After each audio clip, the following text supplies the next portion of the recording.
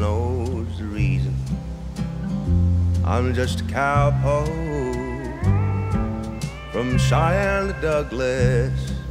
The ranges I know, know, 'cause I drift with the wind.